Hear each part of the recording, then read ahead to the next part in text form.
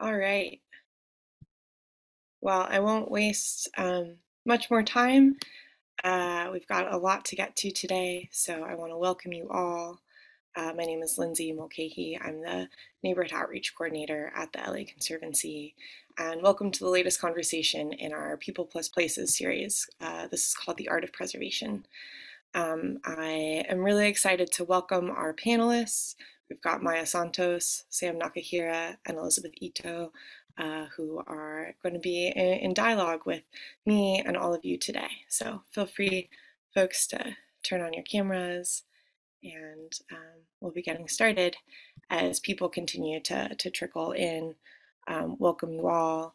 Feel free to continue to adding your name and um, where you're coming from in the chat. Uh, it's great to see what um, an international group we've got so far, as well as um, a lot of local folks as well.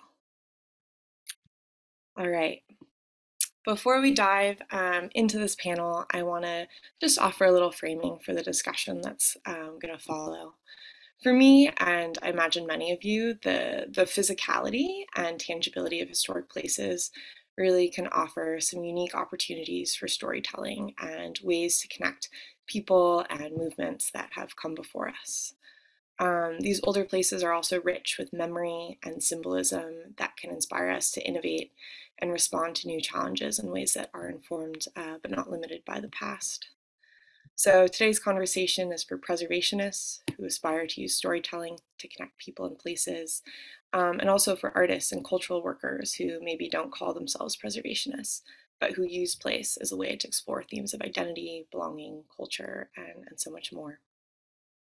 Um, so for a discussion that's rooted in land, uh, I want to begin by recognizing that myself and others in the Los Angeles basin live on unceded territory of the Gabrielino Tongva people, who are the past, present, and future caretakers of this land, its water, and its cultural resources. Um, I won't uh, spend much more time in front of the mic and uh, we'll pass it off to our really brilliant artists uh, to introduce themselves and share their practices in their own words. And after we've gotten a taste of each of their work, I'll kick off the discussion with some questions and we'll invite you all to, to join us in using the Q&A. Um, so I'll start with uh, documentarian and screenwriter Maya Santos. Welcome. Feel free to share your screen.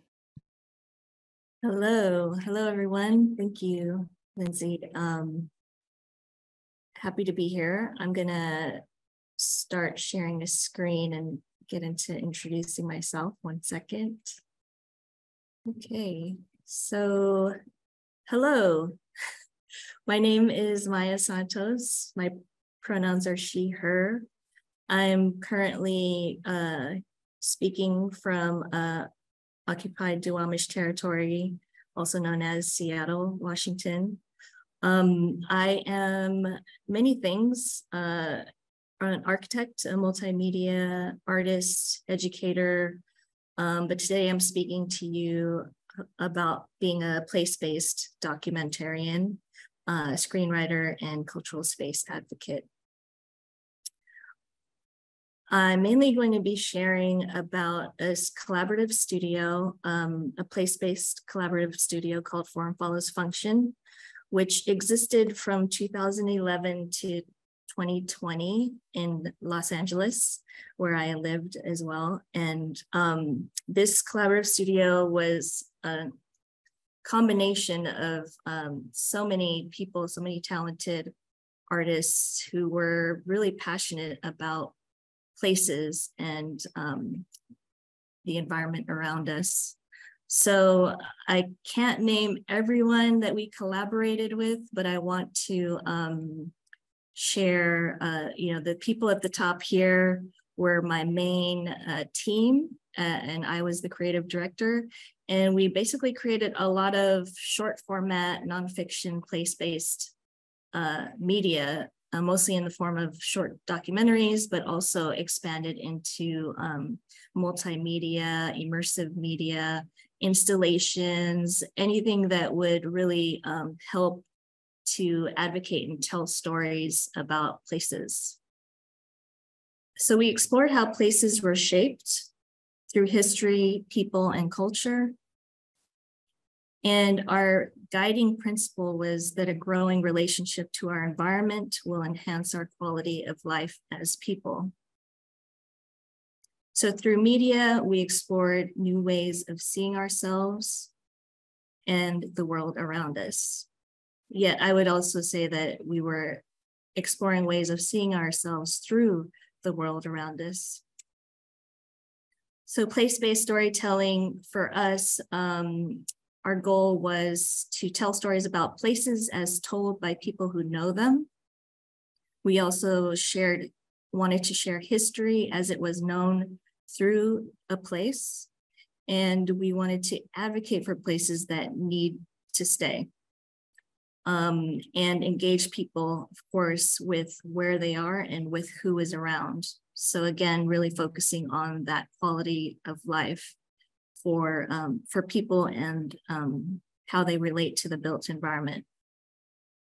So what we found was uh, that a place really, by centering a place in a story, a place really allows people to locate a tactile experience uh, a place can reflect multiple experiences and perspectives and disarm personal beliefs. A place can reflect a multiplicity of narratives and timelines. And the most exciting thing is you can tell many stories through one place, which always really fascinated with fascinated me. Um, and a place reflects common experience experiences that can be universal. And then a place can also tell an objective story, but can also be personal and meaningful. So oftentimes we, when we were telling a story of a place, what we were really looking for was what the soul of that place is. Even if, you know, you don't believe that a place can have a soul, but if a place were to have a soul, what would it be? So um, I want to take a moment now because uh, I know we're speaking about um, tangible histories and intangible histories of places. And this is one of those intangible places, a place that does not exist anymore.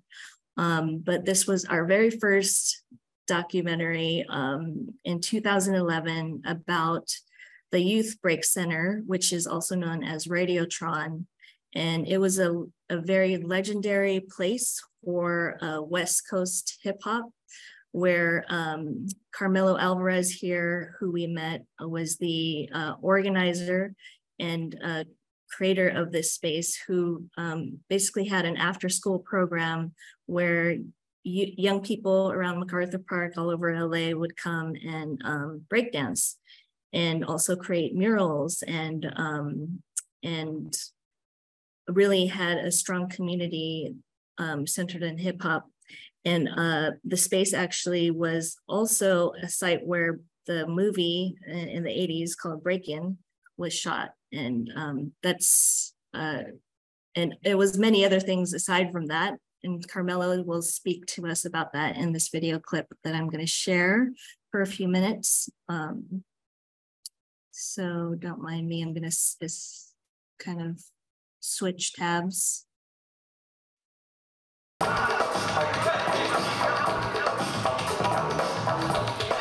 Mr. Huntsberger, which was the owner of the, this property, gave me the building, but he sold the land to make this. The Youth Break Center, also known as Radiotron, is about to lose its clubhouse. The center in the MacArthur Park area will soon be giving way to development, and Carmelo Alvarez is looking for help. Uh, we'd like the city council to help us to find a vacant lot somewhere in the MacArthur Park area where we could actually pick up the building and move it there. The building you're in now? Exactly. But no, no city officials showed up. So we couldn't save the building and the building got demolished. And now it's a little mini mall here. And that's what happened. This would be like the lobby. Like the offices. This was this would be like my office right here, right? And then you have like the another office here that we converted into a snack bar. And then you have like the two bathrooms. And then you have a stairway going up. And then here would be like the door right here. Like say this would be the door. Like the double door, right? Double door opens up, and then you're going into in the hardwood floors there, in the little stage. Then it had a little balcony. It was really, really a nice little building. Beautiful little theater space. It's awesome, you know. Can't find that. The building itself was built like sometime in the 1920s because when I used to open the fuse box and I used to peel back some of the stickers, I noticed that the different people, it was uh, the CSO, you know, like for the servicemen, for, which was in World War One for the what they called the doughboys. Then it was a union hall. It was even Scientology. Even uh, it was a Haymarket, like where Jane Fonda spoke. It was an underground like clubs. We had the circle jerks there. it was it was it was incredible. But it became more famous for being a youth center where kids from all over all backgrounds, you know, all parts of the city would want to come here and dance and do art. And that's what it, that what's what it's really known as. It's called the Youth Break Center, and it was about giving the youth a break and let them be creative.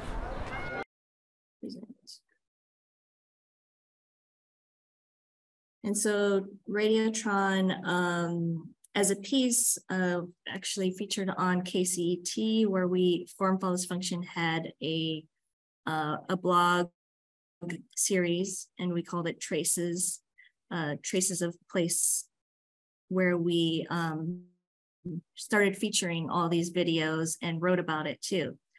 And um, so Radiotron continues to celebrate um, this heritage of West Coast hip hop in uh, MacArthur Park every year. And so it was a great uh, way to be part of that continued celebration.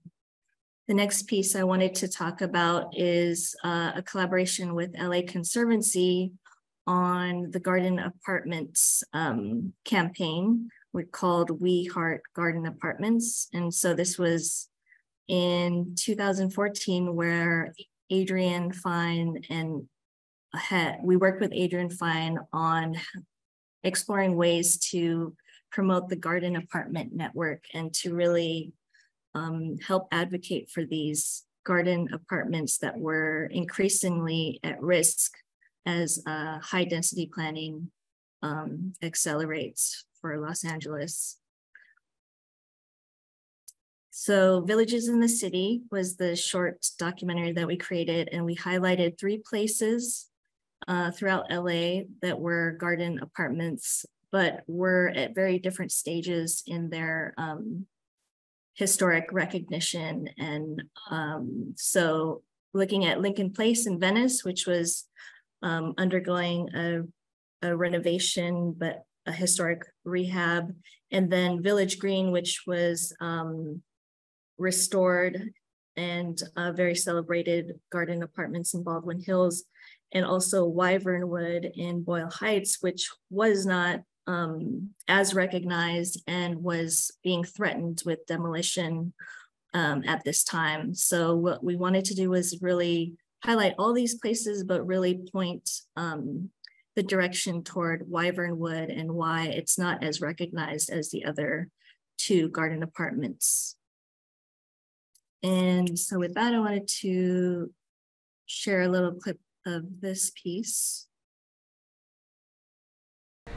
Ese lugar, si se tumba, es donde serían los edificios más altos, serían los rascacielos. Y es el lugar más importante para vivir nuestras tradiciones, ese lugar. Entonces todo esto nos destruirían, donde hemos vivido todo lo más hermoso. New modern buildings, taller buildings, they may be luxurious, you know, but the biggest luxury is is that that friendliness and that sense of community that we have created. I'm very uh, proud to throw my support behind the community that you see here that's saying we want our community as it is. Yes, it needs improvements. We'd rather see those billions of dollars invested in what exists here now. We're focusing on preservation of historical buildings, preservation of, of our culture, of the sense of community, you know, of the events we've created here and the families that we've created here as well.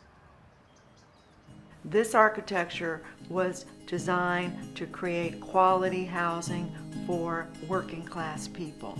And preservation allows us to do that, to maintain that. In areas that are threatened with gentrification, where moneyed interests want to take over, where rent control is dying, where people can't afford to live. We'll never have this open land to do this sort of thing again, and so we really have to preserve the ones that we have. They're some of the finest examples in the whole country. Y no hay un lugar como este que exista para estimarse igual. Pensamos que ese es un pequeño pueblo dentro de una gran ciudad. Puede, puede, se puede decir es una joya aquí adentro.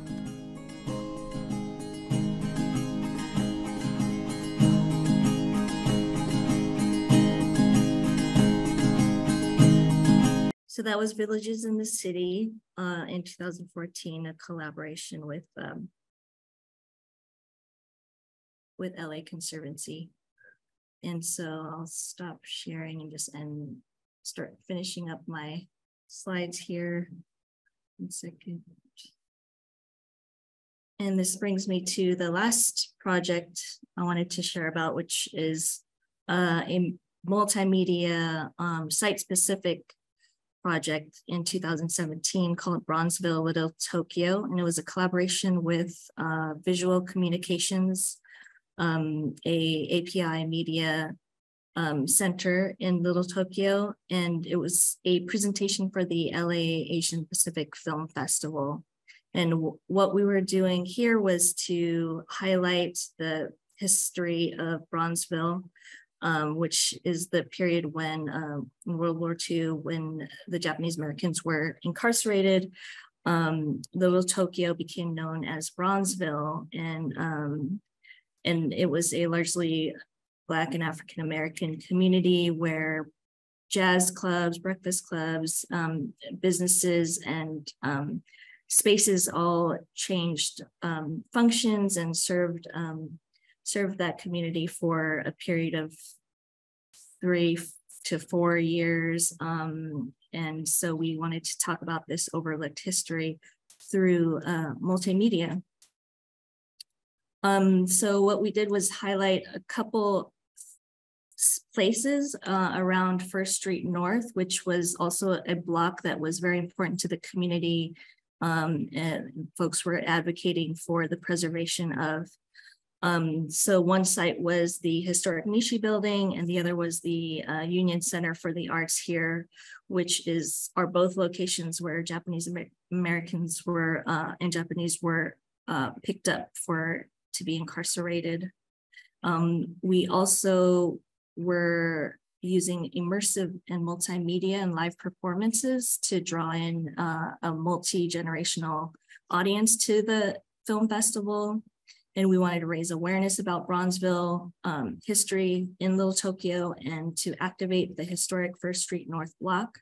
And we also wanted to bridge communities between Japanese American and African American communities of LA. So how we did that was through a, a few uh, in, immersive media projects. One is the Memory Bank, which was a projection mapped open mic inside the Nishi building, where we um, highlighted segments of the of memories of Bronzeville that was in the uh, this book called the the Great Black Way, LA in the 1940s, and we also hosted open mics for folks to share uh, different stories they had about Little Tokyo or what they knew about Bronzeville in that space. We also, of course, had live jazz by uh, the Bronzeville Union, led by Dexter Story at the um, Old Union Church. And we had a 360 VR animation uh, by Kaleidoscope Studios um, in collaboration with us which highlighted the breakfast clubs in the area, specifically um, following Charles, Charlie Parker and um, his his the stories about him around the area in the historic Civic Hotel, and also the um, Finale Club, which was one of the famous breakfast clubs down the street. The finale club, this story actually was picked up by uh, Robert Shoji, who was part of the Little Tokyo community and a friend of Form Follows Function, who really highlighted this story about Finale Club and Charlie Parker and Miles Davis um, recording an album there in 1946. And so this is a view of First Street um, and the club was somewhere around there. And as a result of that, um, that piece, uh, Robert was working with the Little Tokyo Historical Society, and um, they worked together to create a um, historic monument sign to recognize that that property was uh, known as the Finale Club, and it was part of this great history of um, Little Tokyo, Bronzeville again, we're just really happy to bring a multi-generational of folks together to celebrate these places. And this is just a walking tour we had as part of that event. Um, and yeah, really thankful to our collaborators in this time to share. Thank you so much. I, I think you're the perfect person to kick us off with. Um, not only hearing about the projects, but also the, the methodology. And I, I think we'll be going back to the idea of, of the soul of a place um, soon. Uh, but now I want to turn over the mic to um, our second panelist, Elizabeth Ito, uh, to, uh, yeah, kick us off and get started. Thank you. Yeah. Uh, hi, everybody out there who I can't see. Um, I'm Elizabeth Ito. Uh, I made the show City of Ghosts um, that is on Netflix. It's uh, came out in 2021. Um, I've been working in animation for a while now, since like 2004. Um, I started out as a storyboard artist, and um, now I basically make shows, which is cool, cool trajectory. A lot of things happen in between. Um, but uh, yeah, I'm here to kind of talk about how my work um, has connected to place, how it kind of has just always um, been something that's a part of me and a part of what it means to be a creative person um, where you are. Uh, so I'm going to share just a few images. Um, let me see if I can do this correctly. All right, so now you should be able to see uh, my bridge window. Um, this first image of this uh, mural is maybe like the first piece of public art that I was ever a part of. It was at um, Canyon Elementary School, which is in the Santa Monica Canyon, where I went to elementary school and where my mom taught for most of her career. Um, and uh, they had a like a I don't I don't know if it was a contest per se, but they had a thing where you could draw an animal um, as a carousel animal related to sort of how the Santa Monica Pier has that cool carousel with all the animals on it. Um, and so my favorite animal was a mouse, so I chose that. And uh, I think there are other animals also that were chosen. Um, and then all of the school helped to paint um, these murals. So I think it's still there. I'm not sure um, if anybody out there is from Santa Monica or goes to that school, you can let me know or let somebody at the Conservancy know um, whether it's still there or not. Um, so yeah, I mean, I was always a really creative kid and I always really liked doing art wherever I was. Um, this next image is just uh, at some point I started experimenting with adding my characters into environments on Instagram, which now doesn't sound like a big deal. Um, but I think at the time when I started doing it, it was kind of a big deal because um, I sort of had to cobble together a way to do that. So it was figuring out if there was like an app that would let me um, isolate my characters and layer them into photographs that I was taking. But I found a way to do that. And I guess um, it was sort of the first excitement that I felt over um, putting my characters into places that people recognized. I mean, in this case, it was my house, so um, only really me and my family recognized it. But um, it was really fun to go out in the world traveling and then put your characters in a place with your friends wherever you were hanging out. So I think that was sort of an ex exciting discovery. Um, I went on to do a short about my brother uh, that um, where I made the setting our high school because it was sort of about this big monster guy who doesn't feel like he fits in. Um, and the high school that I knew best was the high school that both uh, him and I went to. So I, um, some, I'm in my mind, it's miraculous because it was hard to do, uh, hard to get animation studios to agree to do something like technically kind of that difficult, but um, I got the permission to shoot all of the backgrounds at uh, my high school, which is Palisades High. Um, and a lot of things are shot there. So it wasn't really that hard to, to get, to get in there to do that. But um, it, it was a way to ground the story that I wanted to tell in a place that um, was where it happened, like uh, in real life. And I think um, that just started my thoughts about the connection between people and the stories that they tell and the ways that those things um, can't really be separated from each other sometimes. Um, a lot of times, I think if you want something to feel 100% authentic, it has to it has to be set in a really specific place with really specific voices. Um, so next, uh, my next project kind of after that personal project was City of Ghosts. Um, and this show did such a just uh I don't know, a great job for me. I guess that's the the point of it. But it it answered all of my needs about being curious about things that I didn't know um, in Los Angeles. And Los Angeles is where I've lived my whole life. So um, it's a weird thing to say, but I was really excited to kind of um, find out things that to me were surprising, but um like i don't know just to make stories out of them um and to sort of just explore them at the same time as i'm getting to make a show about them it was really amazing. I picked um this particular image uh of um this is from our episode where our group of kids oh I should set it up, but City of Ghosts is a show, documentary style show about Los Angeles that's about this group of kids that find ghosts around the city to tell them about where they live um, and to tell them about what why they're there.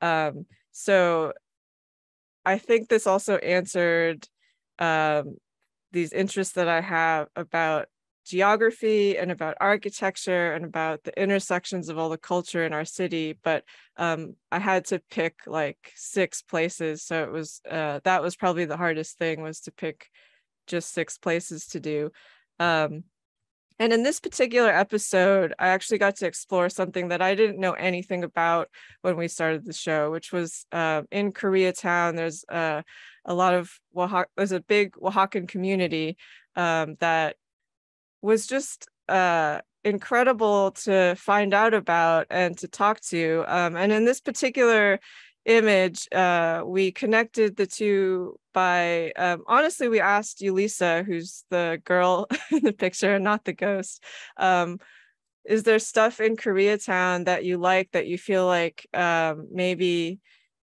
you don't have in Oaxaca and she picked Korean barbecue and so we came up with this whole storyline that had to had to do with um, this Oaxacan whistling ghost that's in the vents uh, that's hiding in there because he got lost and um, it's it's all about him and uh, his best friend Ulisa. Um, so uh, I think to sum that all up, it's just that I think place is really important to stories and and in animation in particular, I'm doing something relatively unique, although I wrote a note to myself that like I know Molly of Denali does that where you set your characters in a place that's very specific to those characters' lives.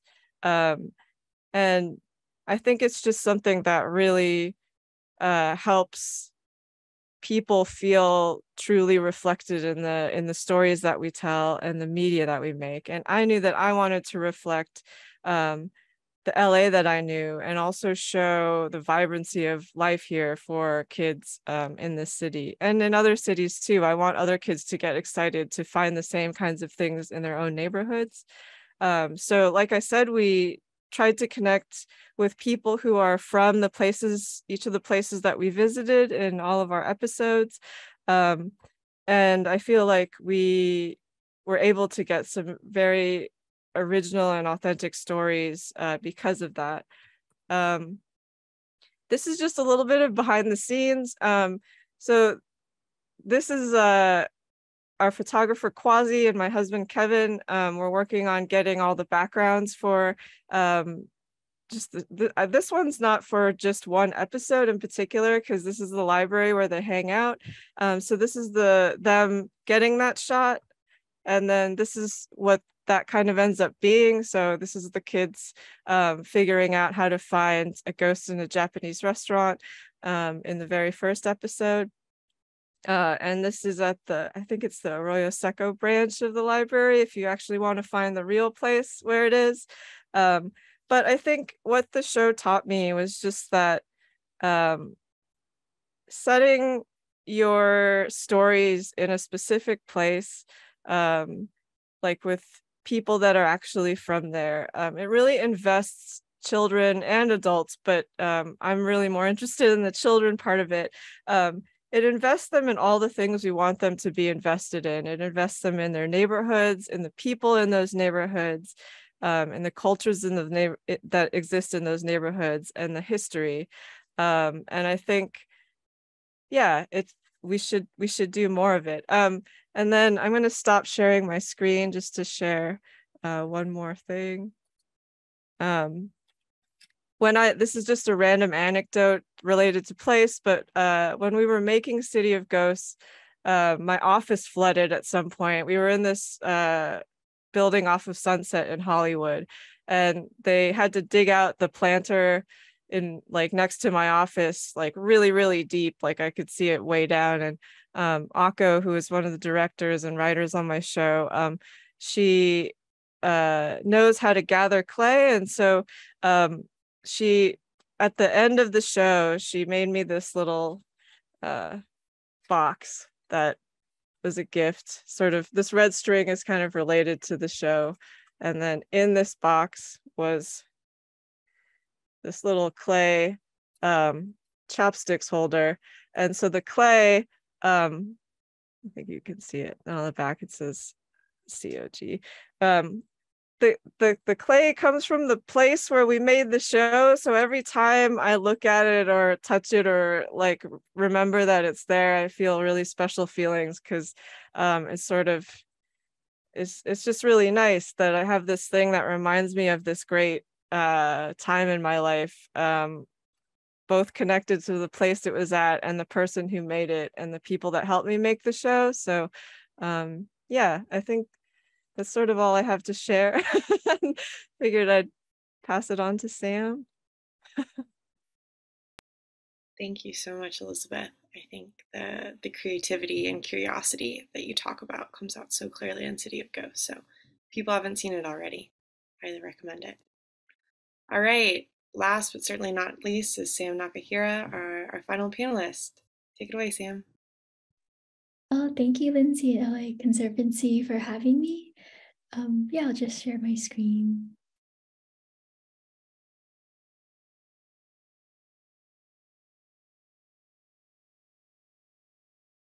Yeah, so I'm a comic artist and illustrator. I grew up in the South Bay, which is like in between LA and Orange County. Um, I prepared like a really short slideshow um, with some of my historical um, comics. Uh, so these are pages from my first uh, long form narrative comic, um, which I made around Bill Fujim- Fujimoto, who is a Japanese American food retailer, and he used to run Monterey Market in Berkeley, California. Um, so in 2018, I was conducting these um, oral history interviews for like a school project. And I wanted to interview Japanese Americans in California who had some connection, like in some way to the land, like farming and food retail. Um, and yeah, I just felt like really hard for their stories. And the way they talked about their farms and markets um, felt so beautiful. So I thought it would be like a waste to just use my research and interview transcripts for like an academic paper for school. I thought it would be cool to make comics out of them and kind of convey their humanity more and maybe share their stories with others. Um, so Bill Fujimoto ran this produce market where he like sourced all his produce from small local farmers in California. And he kind of cultivated this community space for farmers who like couldn't sell their produce in like more large brand markets. and yeah, connected these farmers with a lot of like restaurants in the Bay Area. I think this comic was like pretty important to my trajectory as an artist. Um, because it kind of like I don't know, I think influenced my future comics. Um, I really like discovering like these hidden histories and illustrating them. Um, sometimes I think my work might be a little too niche, like it might not have like mainstream appeal. Um, but I think it's also cool, like um, maybe like something you might not find so easily in history books or yeah, more media. And yeah, when I was working on this comic, I kind of wanted to create this feeling of walking around a busy market with a lot of different boxes of produce, like set um, all around. And yeah, I guess I was kind of playing with like the power of comics to like convey a sense of place and bring people into an environment. Um, yeah, so I'm like very interested in using art to kind of like unlearn and relearn history. I think it also helps me find hope in like imagining other worlds are possible that are like more community centered. Um, yeah, so these are some recent illustrations and comics that I've made. Um, I started organizing with like a mutual aid group in Little Tokyo called J-Town Action and Solidarity. Um, so I kind of want actually as an artist, I'm interested in making like fun, like dreamlike narratives. Um, but I think I actually feel most satisfaction when I'm making art for other people. Um, so the way I present like these narratives, which are like nonfiction stories, I could kind of mix in like little like fantastical element to the drawings and being kind of creative with the art, even though it's like a nonfiction subject. And I actually met Lindsay through organizing at the Ozawa boarding house um, with Jazz. And yeah, I think this comic uh, was about like the senior tenants at the boarding house um, who are all Japanese uh, elders. And yeah, kind of depicting the struggles they were encountering with their landlord and just gentrification happening in the area, which is like Virgil Village. And yeah, currently I'm working on a graphic novel about the early life of Ruth Asawa, who's a Japanese American artist and worked with Fire. Um, yeah, and it's being published by the Getty Museum next year. Uh, I think it's pretty lucky um, how I got connected with the project. I think one of the editors found my comic about the Fujimoto. Um, and yeah, that's how we kind of got connected. Um, I also feel very fortunate to be working with the Asawa family on the narrative and making sure Ruth Asawa's representation is like very true to her as an artist in person. And I think it's also an honor to work on the project. So I want to be like respectful to her legacy as can be, which I think is an important part of historical work. And yeah, the graphic novel is about her early life. Um, I think a lot of people um, like kind of are familiar with Asawa's like wire sculptures, um, but they don't know that she had like a background in the farming family in Southern California. And so I grew up in like Torrance Gardena area. So I actually lived really close to where her family had like a farm in Norwalk.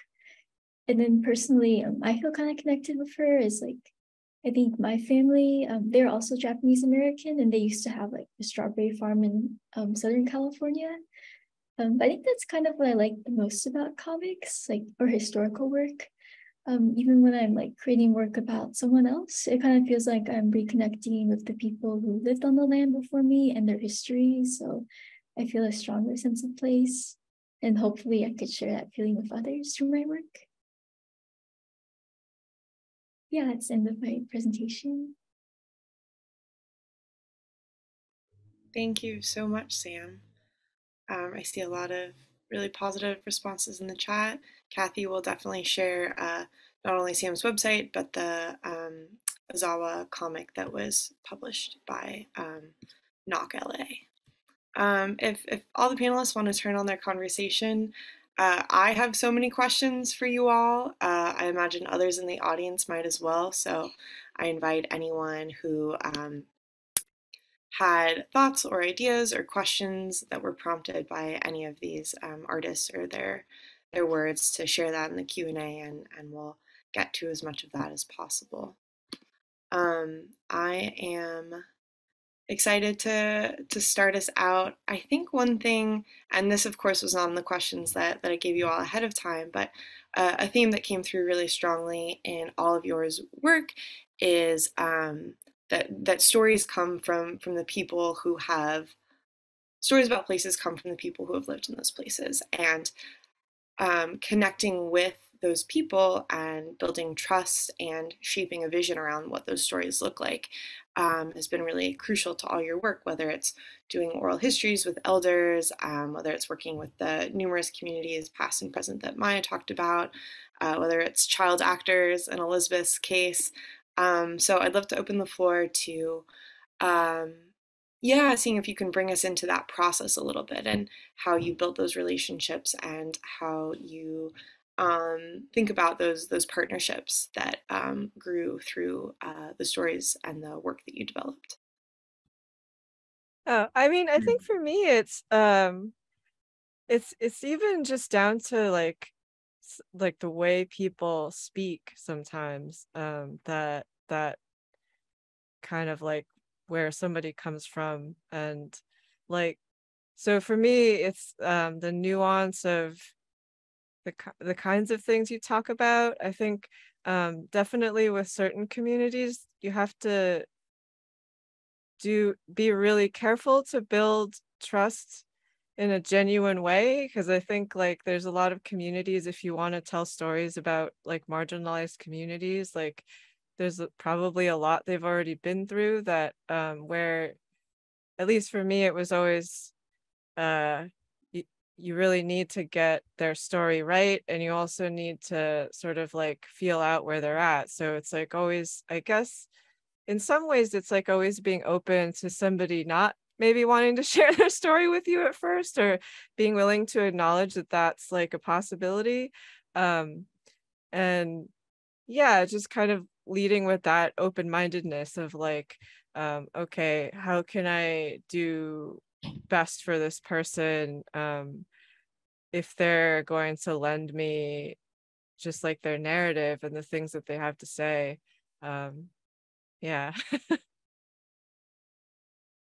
I'll add that um, just really being on the ground um, of that place and spending time there um, and getting to know who, the community and who's connected to that place. Um, also, if we're collaborating with, say, the LA Conservancy, we're definitely like putting our brains together on who they know, um, who lives there that we can speak to, and just really start from that initial conversation um, and comfortability and see if they're really open to um, sharing their stories on camera and um, and from there kind of see who they're how they're relating to the space and who they're connected with. And it's very organic i guess for us Uh, yeah, I agree with what everyone has been saying. Um, I think being very respectful to the people who you're like interviewing or making work about um, and yeah, getting to kind of the community as well. I think for my comic about Bill Fujimoto, he is actually like a very modest person, like very humble. Um, so I think when I first asked him about like making comics about him, he was like a bit like um, reluctant at first because I think he's just super humble. But I think when you talk to the community of like small farmers that he worked with, like it was very clear that they all like um, felt very indebted to him or like very a lot of gratitude. So I thought it would be cool to show his story in that kind of way. So I guess I don't know, I think um, being respectful of people's boundaries is good, but then also I think when the community really cherishes a person, it's nice to honor that memory as well. I think Sam, what you just said speaks to um, a larger theme that I see in everyone's work too, which is um, elevating people who um, live in some ways ordinary lives, um, people who aren't like necessarily in capital H history books, um, and contextualizing them within incredibly important um, narratives and and really elevating them to to the place that they deserve in history. And um, a lot of that you've all talked about. Um, rewriting historical records or telling stories that have been overlooked.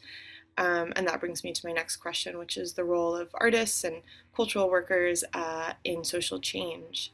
Um, I'd love to hear. I, I, know that there are some tangible things that have come out of your work. Maybe it's a designation, maybe it's people getting to see themselves on camera or television.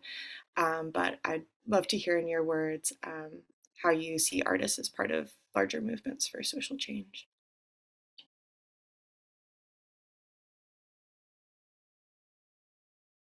That's a big question.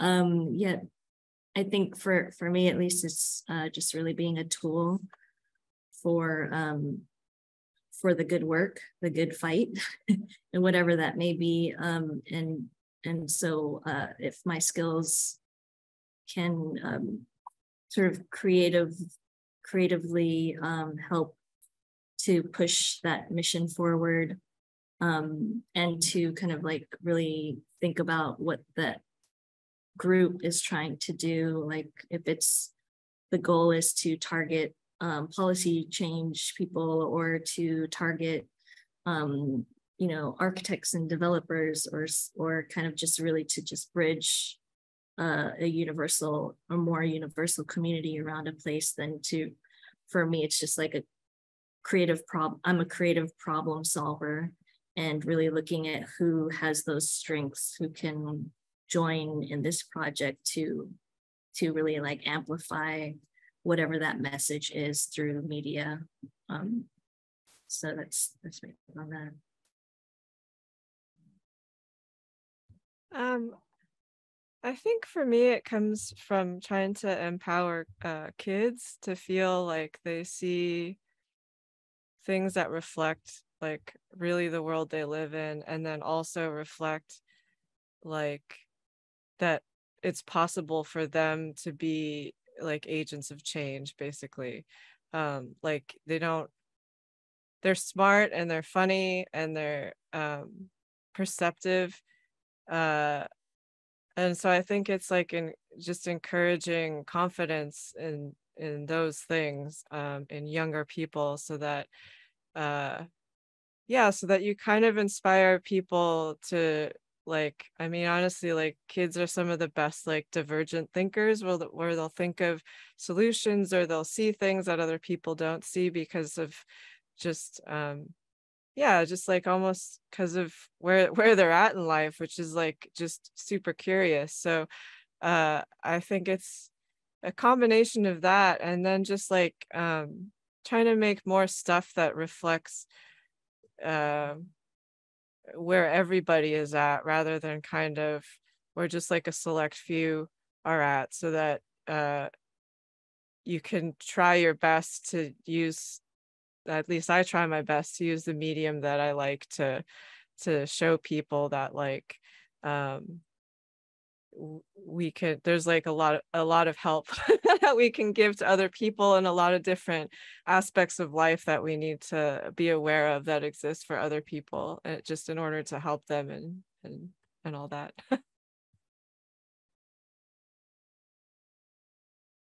Um, yeah i think like art is really I feel like feel like a good supplement to organizing that's like already there in like neighborhoods um, but I also think art's like really good also in kind of inspiring people or making them feel like more hopeful. Um, so it is good in like shifting perspectives or maybe like bringing awareness to like an issue that people would otherwise know about.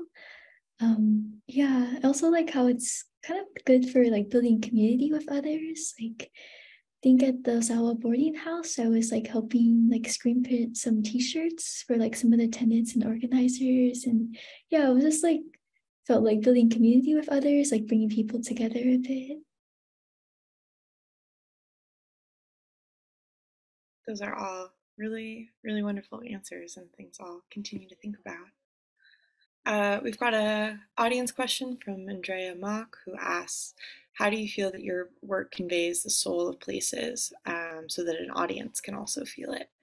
And I think that, you know, you all have such different mediums. Maybe you can speak to, to the particulars of, of your medium or what it means for a soul to have a place um, or anything else related to Andrea's question.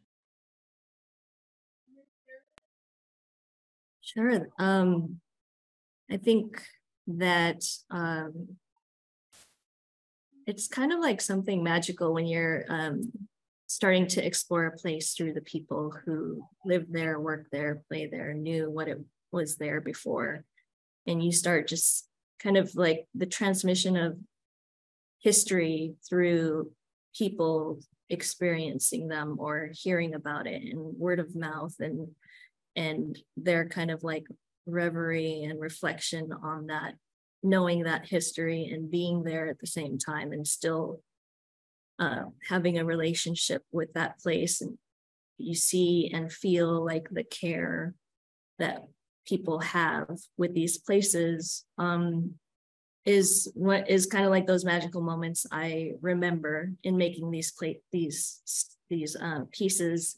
And to really like um, highlight those moments you know like um, whatever if it's an interview question that leads them there if they're just walking around and they remember something it's like those moments where it's a complete reflection of this person in relation to this building in this place or whatever if, even if it's not there.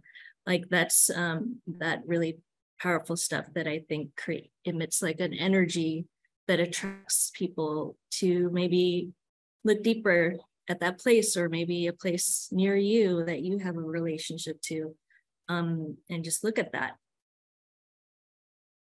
That's yeah for me it's i think like um a lot of little things combined like i feel like um some people felt it just through the type of light that we would use in certain shots like they would say it really felt like um los angeles um which i kind of get it's like it's it's specific places have like just specific details that i think if you're able to infuse those into what you put into it um it's it's part of what gives you that feeling of like oh this was made by somebody that's really been to that place.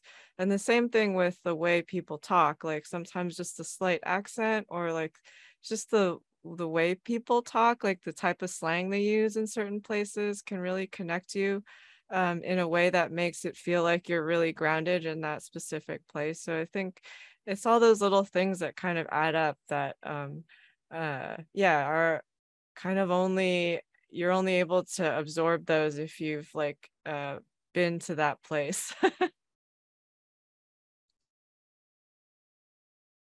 Oh, yeah, I think I also agree with Elizabeth about like the little things adding up. Um, I really like when I'm interviewing someone and kind of like weaving their transcript or oral history interview into like the comics. Cause I feel like the way they describe the place, um, it just makes sense to like kind of share it that way.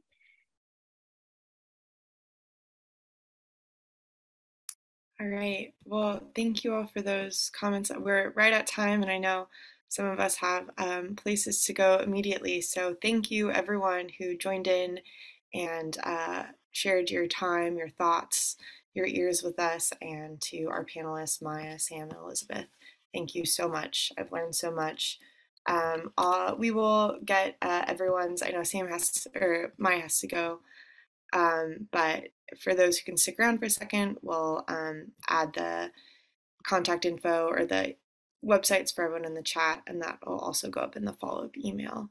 Uh, this presentation will also be recorded as well. So if you didn't get a chance to watch the whole thing or you want to share it with someone else, please, please do. Um, this has been a, a really wonderful afternoon. Uh, thank you. I've got um, lots of things to think about and how I continue to engage with uh, historic places and the layers of people in history um, that make it what it is. Thank you all. Have a Thanks, great everybody. Bye. All right. Thanks, Bye. everyone. Bye.